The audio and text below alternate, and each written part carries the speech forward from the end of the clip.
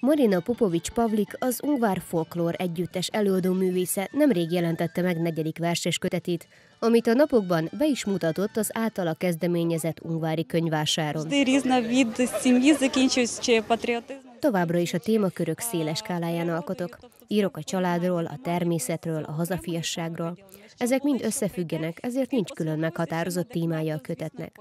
Arról írok, ami megérintett, vagy egy-egy találkozás, beszélgetés során megihletett. A könyv most jelent meg, de már a háború előtt megírtam.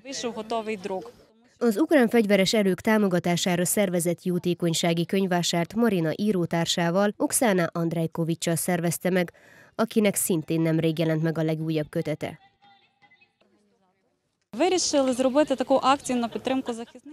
Úgy döntöttünk, hogy szervezünk egy jótékonysági vásárt. Könyveket gyűjtünk, és egy részüket értékesítjük. A befolyt összeget a hadseregnek fogjuk eljutatni, a megmaradt könyveket pedig a kórházban kezelt katonáknak és a kárpátaljai 128-as dandárnak fogjuk átadni. A rendezvényt az Ungparton tartották, amihez az Ungvári nyilvános könyvtár is csatlakozott. A megvásárlásra kínált könyvek között számos kárpátaljai szerző munkája is szerepelt. Inna Mahas, fiatal ungvári író, szintén csatlakozott a kezdeményezéshez, és legújabb kamaszokról szóló könyvét is bemutatta.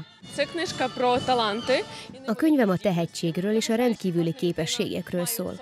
Úgy gondolom, hogy mindenkinek van valamilyen tehetsége, amit fejleszteni kell. Ez a könyv a kamaszokról, a barátságról, a szülőkkel való kapcsolatról és a kalandokról szól. Amikor tudomást szereztem erről a rendezvényről, úgy gondoltam, hogy ez egy jó lehetőség számomra, hogy kapcsolódjak a segítségnyújtáshoz. Örülök ennek a lehetőségnek. A jótékonysági vásáron bárkinek lehetősége nyílt személyesen is találkozni a kedvenc írókkal és dedikált példányt is szerezni a műveikből.